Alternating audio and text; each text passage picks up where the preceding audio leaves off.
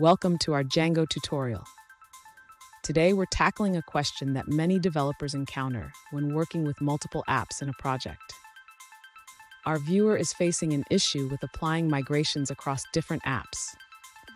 Specifically, they have a project structure with a main app and a secondary app, but when they run the migration command, only the main app's tables are being created. Let's dive into the details of this problem and explore how to ensure all migrations are applied correctly.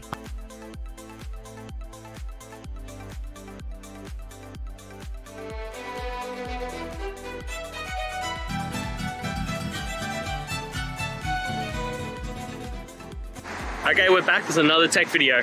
Now I'm going to go through your question, answer it, and hopefully you get the solution.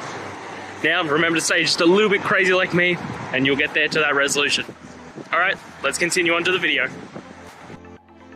To apply migrations for all your Django apps, first ensure that both apps are included in your project settings. Check your settings.py file.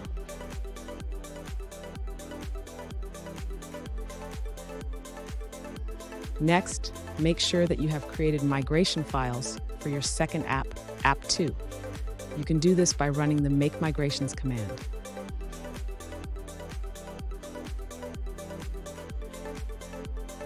After creating the migration files, you can now apply the migrations for both apps. Use the migrate command to do this.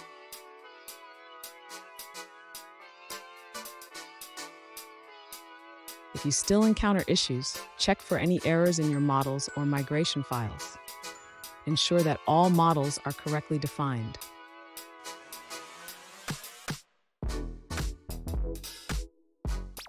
Finally, everything is set up correctly, running the migrate command should create the necessary tables for both apps in your database.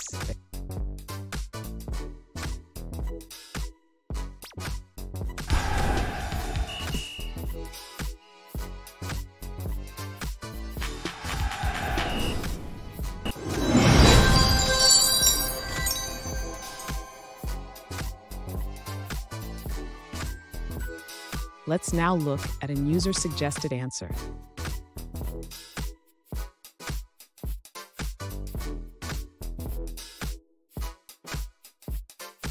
First, ensure your app is included in the installed apps list. This is crucial for Django to recognize your application.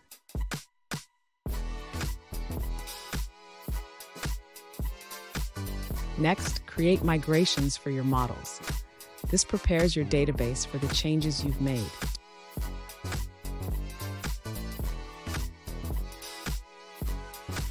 Finally, apply the migrations to update your database.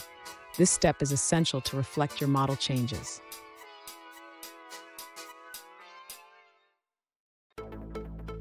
I hope that video helped get through to the resolution that you're looking for. If it did, please hit subscribe. I really appreciate it. And until next time, I hope you have a great one. Cheers.